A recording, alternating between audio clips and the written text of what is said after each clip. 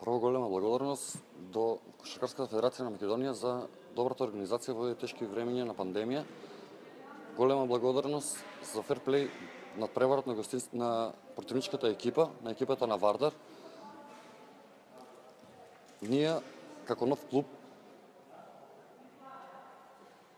ние како нов клуб ова е наш историски успех со пласман во финалето на Купот на Македонија се надеваме дека со добра игра и утре во во големото финале ќе пружиме отпор на најтроферниот клуб во Македонија Баде.